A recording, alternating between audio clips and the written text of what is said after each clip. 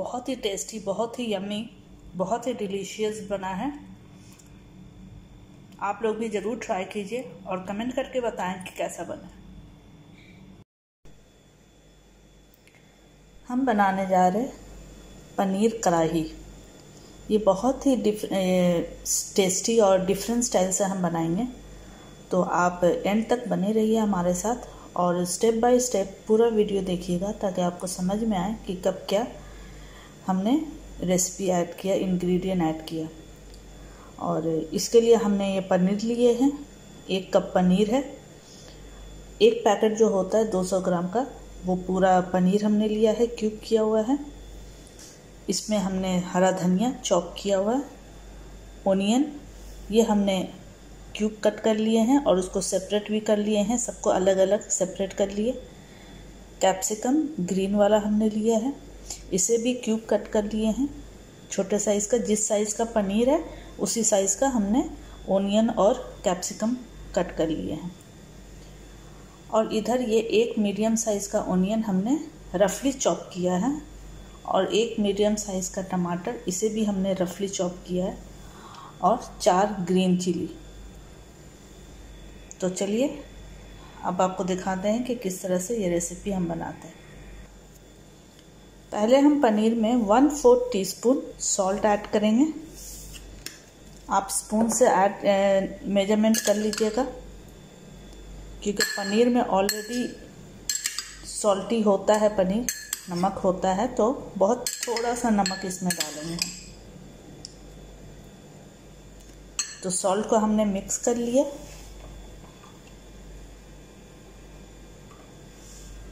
और डालेंगे chilli powder, ये भी बस ज़रा सा चुटकी भर इसमें डालेंगे।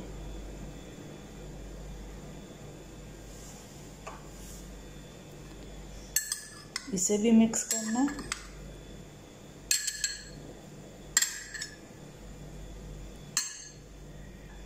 देखिए, मिक्स हो गया। हमने कढ़ाई में टू टेबलस्पून ऑयल ऐड किए हैं। ठीक है? तो इसमें अब हम ये जो पनीर मिक्स किए थे, चिली और सॉल्ट इसे हम ऐड करेंगे। और इसे शैलो फ्राई करना है। इसे डार्क कलर नहीं लाना है shallow fry light golden colour का इसे फ्राई करना है। और इसे चलाना है इस तरह से। हल्के हाथ इसे चलाना है कि पनीर हमारा टूटे नहीं।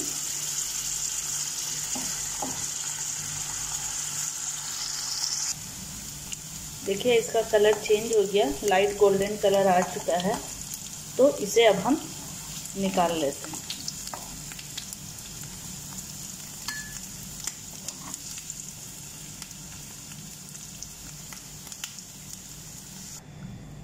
अब सेम ऑयल में हम ऐड करेंगे। क्यूब कैप्सिकम और ऑनियन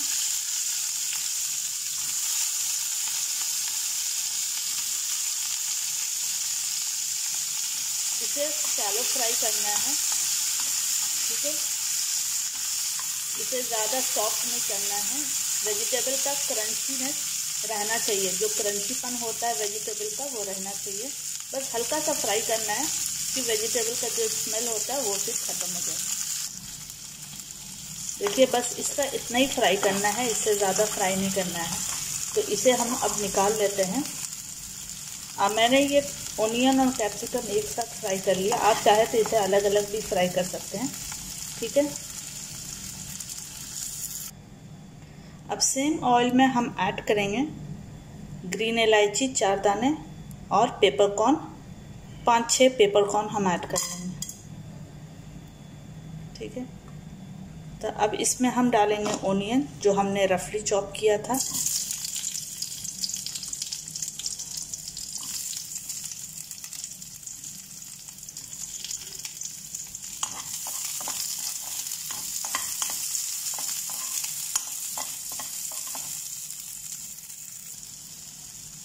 देखिए ओनियन सॉफ्ट हो रहा है।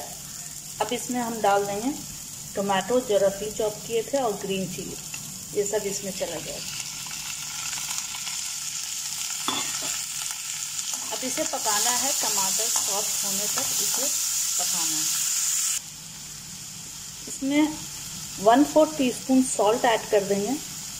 इससे क्या होता है कि टमाटर जो है, वो जल्दी पक जाता है।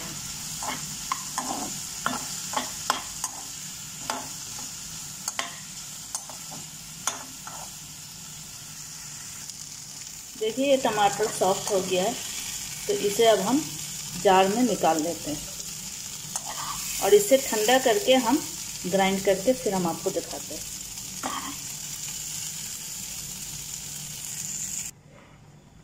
सेम कढ़ाई में हमने टू टेबलस्पून ऑयल ऐड किए फिर से, ठीक है? अब इसमें हम डालेंगे हींग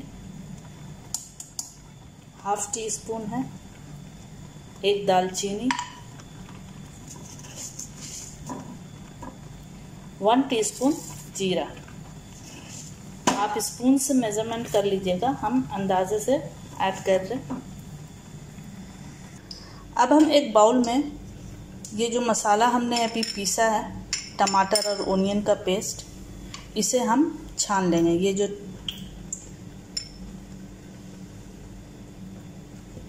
थोड़ा थोड़ा करके छान लेंगे कि इसके अंदर अगर कोई भी लम्स बचा हो तो वो निकल जाए। ठीक है तो हम छान ये देखिए, छानने से इतने सारे लम्ब्स निकल गए जो ग्राइंड सही से नहीं होते। तो इसलिए छानने से क्या होता है कि हमें फाइन पेस्ट मिल जाता है। अब इसमें डालेंगे हम ginger garlic paste one tablespoon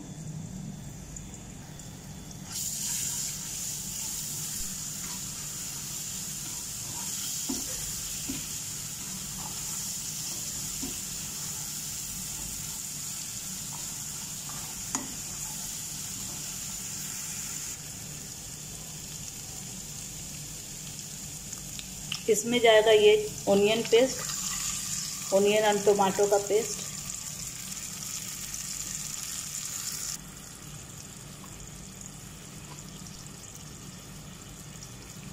chilli powder हम कश्मीरी चिली पाउडर डाल रहे हैं।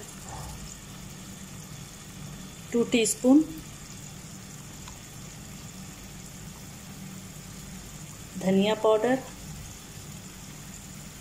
टू टीस्पून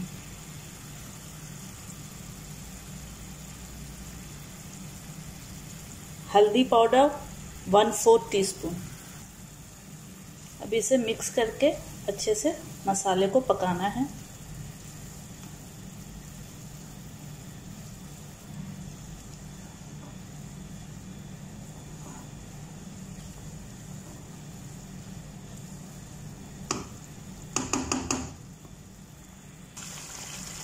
इसमें अब हम डालेंगे सॉल्ट आप अपने टेस्ट के हिसाब से ऐड कीजिएगा।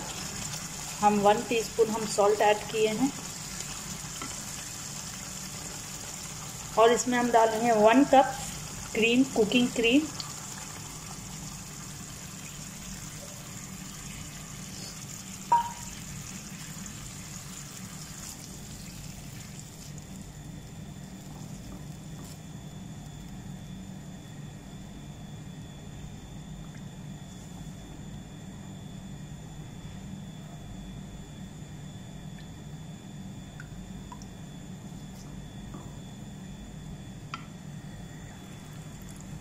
इसमें जाएगा हरा धनिया। चॉप किया हुआ।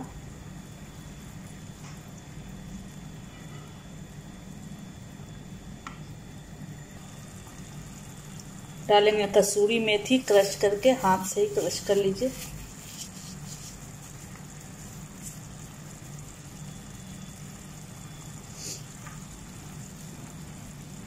अब इसे मिक्स करके मसाले को पकाना है।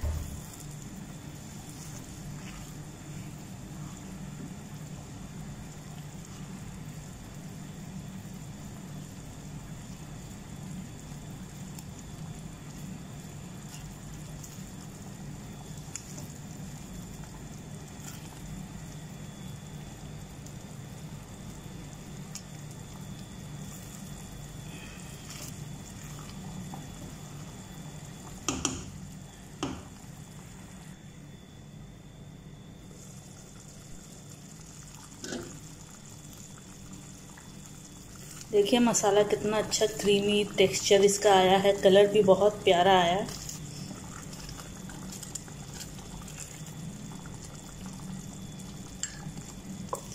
अब इसमें डालेंगे कैप्सिकम ओनियन फ्राई किया हुआ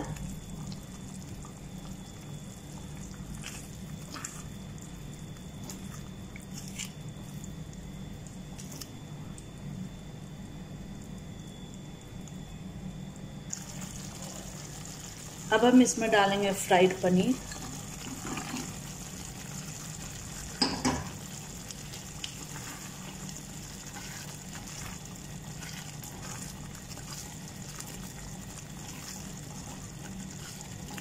इसे एक से दो मिनट इसे पकाना है कि पनीर भी अच्छे से मसाला इसमें चला जाए। ठीक है तो एक से दो मिनट हम इसके पकाते हैं और इसमें हम ऐड करते हैं हरा धनिया, चॉप किया हुआ।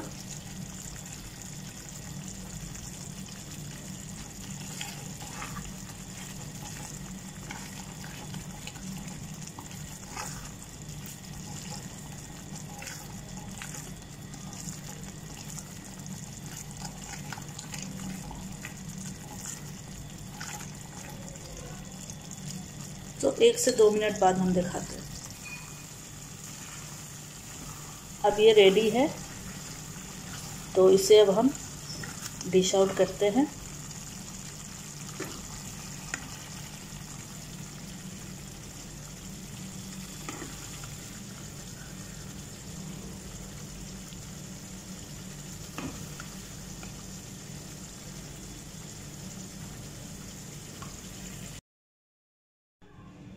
जो नहीं देखने वाले हैं, वो चैनल को सब्सक्राइब भी कर ले और शेयर भी कर दें और कमेंट भी कीजिए कि आपको ये रेसिपी कैसा लगा। आप ये रेसिपी ज़रूर ट्राई कीजिएगा क्योंकि बहुत ही डिफरेंट स्टाइल से बना है, और बहुत ही टेस्टी बना है।